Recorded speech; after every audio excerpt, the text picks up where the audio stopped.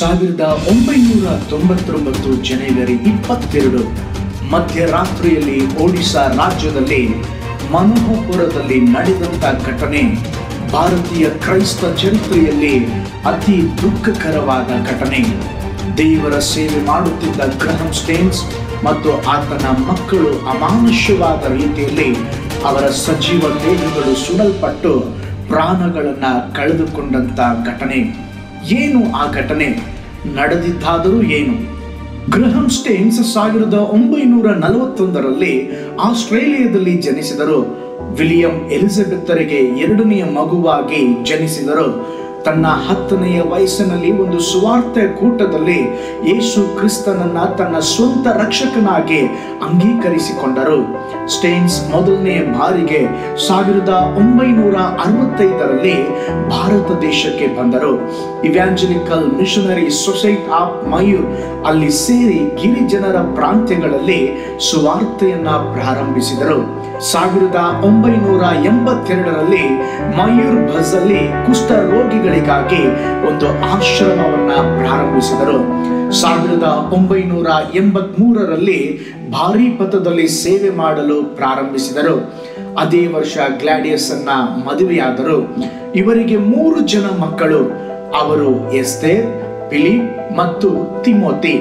Philip ಎನ್ನುವುದು missionary ಹೃದಯ ಎಲ್ಲರೊಂದಿಗೆ ಸ್ನೇಹ ಭಾವದೊಂದಿಗೆ ಇರುತ್ತಿದ್ದನು. ಸ್ನೇಹಿತರುಗಳಿಗೆ ಗಾಯಗಳಾದರೆ ಕಟ್ಟುಗಳನ್ನ ಕಟ್ಟಿ ಪ್ರಥಮ ಚಿಕಿತ್ಸೆ ನೀಡುತ್ತಿದ್ದನು. ಇನ್ನು ತಿಮೋತಿಯಾದರೆ ಆರು ವರ್ಷದ ವಯಸ್ಸಿನಲ್ಲೇ ಹಾಡುಗಳನ್ನು ಬರೆದು ಹಾಡುತ್ತಿದ್ದನು. ಗ್ರಹಂ ಸ್ಟೇನ್ಗೆ ಸ್ಥಳೀಯ ಭಾಷೆಗಳಾದ ಒರಿಯಾ ಮತ್ತು ಸಂತಾಳಿ ಭಾಷೆಗಳು ಬರುತ್ತಿದ್ದವು. ಸ್ಟೇನ್ಸ್ ಹೋ ಭಾಷೆಯಲ್ಲಿ ಬೈಬಲನ್ನ ಭಾಷಾಂತರಿಸಿದರು. ವಿವಾದಗಳಿಗೆ ತುಂಬಾ ದೂರ ಇರುತ್ತಿದ್ದರು. ದಯವುಳ್ಳ ವ್ಯಕ್ತಿ ಸಾಧಾರಣ ವಸ್ತ್ರಗಳನ್ನು ಧರಿಸುತ್ತಿದ್ದರು. ಆತನನ್ನ ಮಾತ್ರವೇ ಗುರುತಿಸುವಂತ ಒಂದು ಟೋಪಿಯನ್ನ ಆಡಿಸುತ್ತಾ ಭಾರಿಫತ್ ಪ್ರಾಂತ್ಯಗಳಲ್ಲಿ ಸೈಕಲ್ ತುಳಿಯುತ್ತಾ ಸೇವೆ ಮಾಡುತ್ತಿದ್ದರು. ತನ್ನ ಜೀವನ ಕಾಲದಲ್ಲಿ ದೇವರ ಪ್ರೀತಿಯನ್ನ ಇತರರಿಗೆ ಹೇಳಿದ್ದಕ್ಕಿಂತ ತೋರಿಸಿದ್ದೇ ಹೆಚ್ಚು.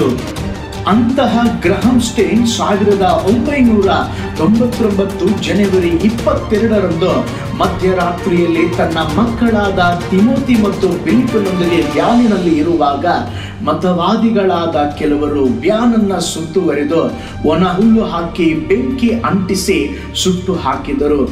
ಯಾರು ಸಹ ನೋಡಲಿಕ್ಕೆ ಇಷ್ಟಪಡದ ಕುಷ್ಠ ರೋಗಿಗಳನ್ನ ಪ್ರೇಮ ಪ್ರೀತಿಯಿಂದ ಆಧರಿಸಿದ ಸ್ಟೇನ್ಸ್ ಬೆಂಕಿಯಲ್ಲಿ ಸುಟ್ಟು ಹೋದರು. ಸಮಾಜದಿಂದ ಹೊರಹಾಕಲ್ಪಟ್ಟ ಕುಷ್ಠ ರೋಗಿಗಳೊಂದಿಗೆ ಹಾಯಾಗಿ ಆಡಿಕೊಂಡಿದ್ದ ಆ ಎಳೆ ಹೃದಯಗಳು ಬೆಂಕಿಗೆ ಆಹುತಿಯಾದರು.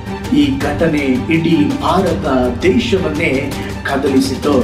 ಈ ಘಟನೆಯನ್ನ ಉದ್ದೇಶಿಸಿ ಅಂದಿನ ರಾಷ್ಟ್ರಪತಿ ಹೀಗೆ ಹೇಳಿದರು.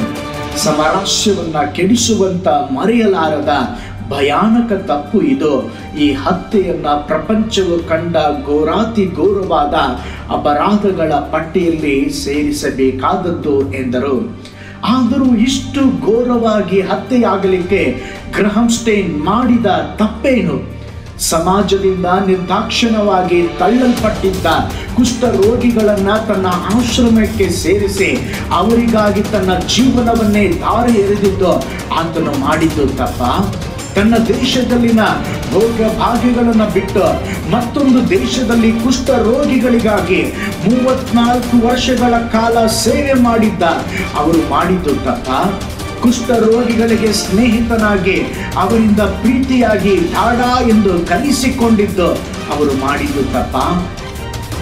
ನಾವು ಕ್ರೈಸ್ತ ಮನುಷ್ಯನನ್ನ ಸುಟ್ಟವೆಂದು ಆತನನ್ನ ಕೊಂದವರು ಅಂದುಕೊಳ್ಳಬಹುದು. ಆದರೆ ಅವರು ಸುಟ್ಟದ್ದು ಕ್ರೈಸ್ತ ಮನುಷ್ಯನನ್ನ ಮಾತ್ರವೇ ಅಲ್ಲ ಒಳ್ಳೆಯ ತನವನ್ನ ಸಹ ಸುಟ್ಟರು. ಯಾವ ದೇಶಕ್ಕಾಗಿ ತನ್ನ ಜೀವನವನ್ನ ಧಾರೆ ಎರೆದನೋ ಅಂಥವರನ್ನೇ ಕೊಂದು ಹಾಕಿದರು. ಈ ಸಂಘಟನೆಯಿಂದ ಕ್ರೈಸ್ತರು ಕಲಿತುಕೊಳ್ಳಬೇಕಾದದ್ದು ಏನು ಗೊತ್ತಾ? ತ್ಯಾಗ. ಹೌದು. ದೇವರಿಗಾಗಿ ನಮ್ಮ ಪ್ರಾಣಗಳನ್ನು ತ್ಯಾಗ ಮಾಡಬೇಕು. ತ್ಯಾಗ ಮಾತ್ರ ಅಲ್ಲ, ಇನ್ನು ನಾವು ಕಲಿತುಕೊಳ್ಳಬೇಕಾದದ್ದು ಗ್ರಹಂ ಸ್ಟೇನ್ ಹೆಂಡತಿ ಮತ್ತು ಮಗಳು ತೋರಿಸಿದ ಪ್ರತಿಸ್ಪಂದನೆ. ತನ್ನ ಗಂಡನನ್ನ, ತನ್ನ ಮಕ್ಕಳನ್ನ ಕೊಂದಂತ ಪ್ರತಿಯೊಬ್ಬರನ್ನ ಕ್ಷಮಿಸಿದ ಆ ಒಳ್ಳೆ ಹೃದಯ ಪ್ರತಿ ಕ್ರೈಸ್ತನು ದೇವ ಮಗುವು ಹೊಂದಿರಬೇಕು. ಗ್ರಹಂ ಸ್ಟೇನ್ ಮರಣ ಕ್ರೈಸ್ತ ಪ್ರಪಂಚವನ್ನೇ ಕದಲಿಸಿದರೆ ಗ್ಲಾಡಿಸ್ ಸ್ಟೇನ್ ಮತ್ತು ಆತನ ಮಗಳು ತೋರಿಸಿದ ಕ್ಷಮಾಗುಣ ಪ್ರಪಂಚವನ್ನೇ ಕದಲಿಸಿತು. ಯೇಸುವಿನ ರಕ್ತ ಸಭೆಯ ನಿರ್ಮಾಣಕ್ಕೆ ಅಡಿಪಾಯವಾದರೆ ಯೇಸುವಿಗಾಗಿ ರಕ್ತ ಸಾಕ್ಷಿಗಳಾದವರ ರಕ್ತ ಆ ಸಭೆಯ ಕಟ್ಟುವಿಕೆಗೆ ಇಟ್ಟಿಗೆಯಂತಿವೆ. ಕೊನೆಯದಾಗಿ ಅವರು ಯೇಸು ಕುರಿತು ತಿಳಿಯದೆ ತಮ್ಮ ಎರಡು ಕೈಗಳಿಂದ ನಮ್ಮನ್ನ ಕೊಲ್ಲುತ್ತಿದ್ದಾರೆ. ಆದರೆ ಯೇಸುವಿನ ಕುರಿತು ತಿಳಿದಿರುವಂತ ನಾವು ನಮ್ಮ ಎರಡು ಕೈಗಳನ್ನು ಜೋಡಿಸಿ ಅವರಿಗಾಗಿ ಪ್ರಾರ್ಥನೆ ಮಾಡೋಣ. ನಮ್ಮ ಎರಡು ಪಾದಗಳ ಮುಂದಕ್ಕೆ ಹೋಗಿ ಈ ತುಟಿಗಳಿಂದ ದೇವರನ್ನ ಅರಿಯದವರಿಗೆ ಕ್ರಿಸ್ತನ ಪ್ರೀತಿಯ ಕುರಿತಾಗಿ ಹೇಳೋಣ. ಆ ಸತ್ಯ ದೇವರನ್ನ ಅರ್ಥ ಮಾಡಿಕೊಳ್ಳುವ ಮನಸ್ಸನ್ನ ಎಲ್ಲರಿಗೂ ದೇವರು ದಯಪಾಲಿಸಲಿ. ಶ್ರಮೆಯನ್ನ ತಾಳಿಕೊಳ್ಳುವ ಸಹನೆ, ಮಾದರಿಯನ್ನ ಕ್ರೈಸ್ತರಿಗೆ ದಯಪಾಲಿಸಲಿ.